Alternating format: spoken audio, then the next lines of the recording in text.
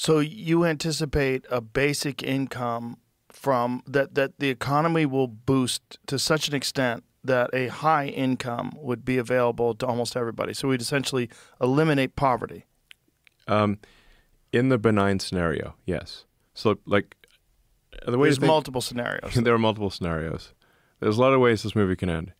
Um, like the reason I'm so concerned about AI safety is that like one of the possibilities is the Terminator scenario. It's not it's not zero percent. Um, so um, that's why it's like I, I, I'm like really banging the drum on AI needs to be maximally truth seeking.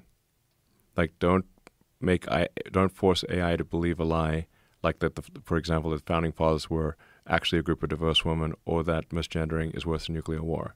Because if if that's the case, and then you get the robots and the AI becomes omnipotent, it can enforce that outcome.